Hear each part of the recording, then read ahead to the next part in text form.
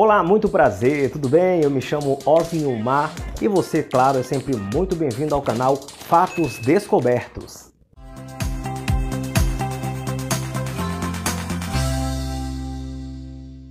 Uma das maiores bandas de rock do Brasil, sem dúvida, foi Legião Urbana. Formada nos anos 80 por Renato Russo, Marcelo Bonfá e Dado Vila Lobos, a Legião conseguiu um feito para poucas, manter a longevidade sem se submeter aos padrões do mercado e alcançando um enorme sucesso de crítica e público.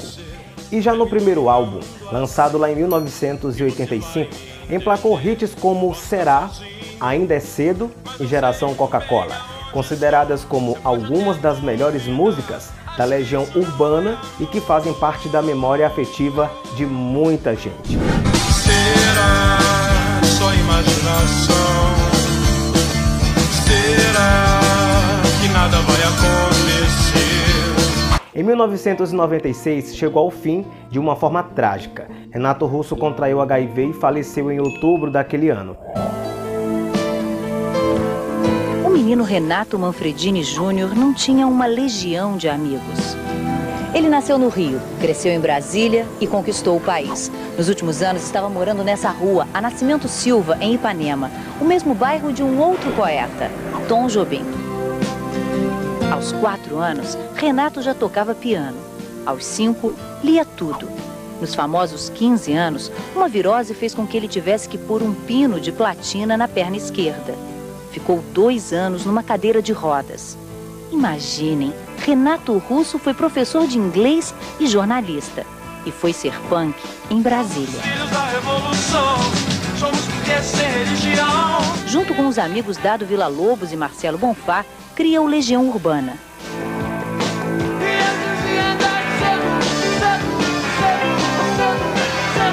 Mais de 20 anos depois, a Legião Urbana permanece sendo uma das bandas mais relevantes do rock nacional. E olha, a história da Legião Urbana começou na cena punk de Brasília, no final dos anos 70, muito antes da banda se formar de fato. Renato Russo conheceu André Pretórios, que mais tarde integraria a Plebe Hood e juntos formaram a banda Aborto Elétrico. Felemos, hoje membro do Capital Inicial, e Ico Ouro Preto, também faziam parte dessa banda. Agora, a Aborto Elétrico durou muito pouco, devido aos inúmeros desentendimentos entre Renato Russo e Felemos. A banda chegou ao fim e Renato passou a tocar sozinho no formato voz e violão. E músicas como Eduardo e Mônica e Faroeste Caboclo, por exemplo, datam muito bem essa fase do Legião Urbana. Aí lá em 1982, o Renato Russo conheceu Marcelo Bonfá e finalmente surgiu o Legião Urbana. Mas por que Legião Urbana? Pois é, o motivo é bem simples, caso você não saiba. Como Renato Russo e Marcelo Bonfá precisavam revezar os guitarristas e tecladistas no grupo, eles concluíram que a banda era formada por uma legião de músicos.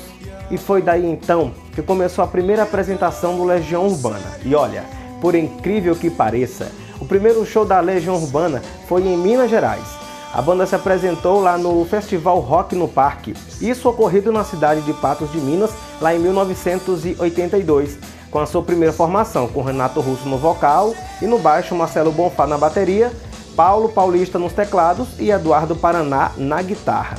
Aí então, após o show, Paulo Paulista e Eduardo Paraná deixaram o grupo. Paraná foi substituído por Ico Ouro Preto, que não se adaptou bem à banda e logo foi substituído por Dado Vila Lobos. Enfim, a Legião Urbana assumiu a sua formação clássica com Renato, Bonfá e Dado. Um pouco antes das gravações do primeiro álbum, o baixista Renato Rocha entrou para a banda. Exato. E aí ele foi chamado para assumir o baixo após uma tentativa de suicídio de Renato Russo, que o deixou com o pulso esquerdo temporariamente incapacitado. Olha, do primeiro álbum ao sucesso nacional. No início dos anos 80, outra banda fazia sucesso na cena de Brasília eram os Paralamas do Sucesso, cujos integrantes mantinham amizade com a Legião Urbana. O baixista Bi Ribeiro, por exemplo, havia estudado inglês com Renato. Olha aí, mas foi Herbert Viana que apresentou uma fita demo com gravações de Renato Russo à gravadora M. Aí então a banda assinou o contrato em 1984 e no ano seguinte lançou seu primeiro álbum, Legião Urbana. Com forte engajamento político, a Legião fez enorme sucesso com músicas como Geração Coca-Cola, Ainda é Cedo, Será, Por Enquanto e Soldados.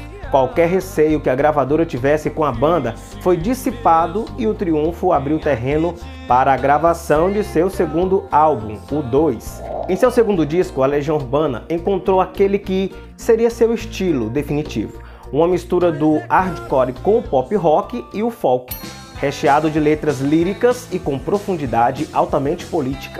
Aí a ideia era que fosse lançado é, um formato duplo, com o nome da mitologia e intuição, mas o projeto foi recusado pela gravadora. Contando com singles como Tempo Perdido, Eduardo e Mônica, Índios e Quase Sem Querer, Dois se tornou o segundo álbum mais vendido da banda e é considerado como um dos maiores do rock nacional até os dias de hoje. Como a Legião não parava de crescer, a gravadora passou a pressioná-la para o lançamento de um novo disco. Aí então Assim surge Que País é Este, lá em 1987, com os hits Que País é Este, escrito quando Renato Russo tinha apenas 18 anos e também Faroeste Caboclo. Agora teve aquele tumulto lá em Brasília que deu um certo perrengue aí para a Legião Urbana, hein? Com o sucesso da banda em 1987, foi marcado por um grande show no estádio Mané Garrincha, lá em Brasília, com 50 mil ingressos vendidos. O que era para ser uma celebração acabou em tragédia. Falhas na organização levaram o show a começar com mais de uma hora de atraso, causando um grande tumulto naquele público. Quebra-quebra, bomba caseira e violência policial marcaram a apresentação, que ainda foi marcada pelo assédio de um fã que subiu ao palco e agarrou-se a Renato Russo. Aí então o vocalista sem papas na língua, por sua vez, reclamou, disse que não teria ido ali para fazer show para animais. E olha, a confusão terminou com 63 pessoas presas, mais de 200 feridos e uma onda de ódio à Legião Urbana. O baixista Renato Rocha deixa a banda, que quase encerrou as suas atividades depois desse evento. E olha, após a confusão, a Legião só voltou a tocar em Brasília 20 anos depois da morte de Renato Russo. Infelizmente, né? Retorno aos estúdios e às reviravoltas da vida. Isso dois anos após o incidente. Aí a Legião Urbana voltou aos estúdios para a gravação do seu quarto álbum, As Quatro Estações. E aí, lançado em 1989, é considerado como o mais inspirado da banda e também é o seu disco mais vendido, puxado pelo hit Pais e Filhos. Agora, outra canção que também chamou a atenção foi Meninos e Meninas, na qual Renato Russo indicava ser bissexual. No ano seguinte, o vocalista assumiu sua homossexualidade e foi lá no início de um período turbulento para a Legião. Em 1990, Renato descobriu ser soro positivo. Além disso, com o rompimento do seu relacionamento com o americano Robert Hickman, o poeta se afundou no vício em álcool e também nas drogas. E olha, dos problemas surgiu o álbum 5, ou seja, o álbum V, que trata de questões pesadas como rompimentos e dependência química. Mas aí, apesar do sucesso do single Vento no Litoral, o disco vendeu pouquíssimo. E aí vem, claro, os anos finais do Legião Urbana. Lá no início dos anos 90, a Legião Urbana lançou ainda o álbum O Descobrimento do Brasil. Foi também nessa época que o grande Renato Russo lançou seu primeiro disco solo, o The Stonewall Celebration Concert, todo totalmente em inglês.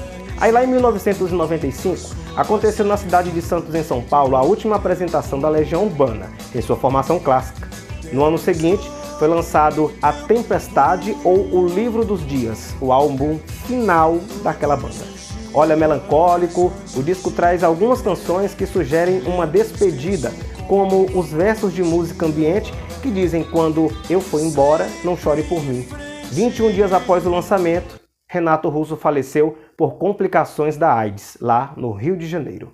Olha, a banda encerrou suas atividades 11 dias após a morte de Renato Russo, vindo a lançar ainda três álbuns póstumos, ou seja, uma outra estação, mais do mesmo e acústico MTV devido ao contrato com a gravadora. Agora, claro, o Legião Urbana também deixa um grande legado sem sombra de dúvidas, não é verdade? Ao longo das décadas seguintes, inúmeras coletâneas e álbuns póstumos também foram lançados. Além disso, Dado Vila Lobos e Marcelo Bonfá participaram de shows organizados como tributo à banda. Esses shows, inclusive, incluem uma apresentação feita no Rock in Rio 4, lá em 2011, em conjunto com a Orquestra Sinfônica Brasileira e um MTV ao vivo, hein, gravado em 2012, com Wagner Moura assumindo os vocais principais.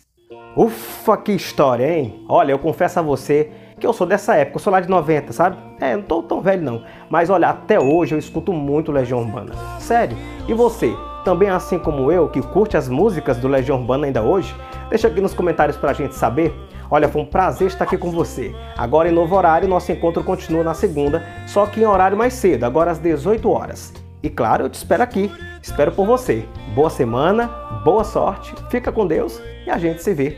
Tchau!